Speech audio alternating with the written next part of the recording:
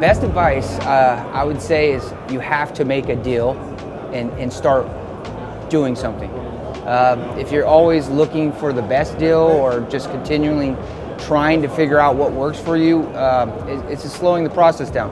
You have to get out there and start operating because we're all losing value in our license, in, in the industry, the longer we're not part of, uh, of the process of actually doing business.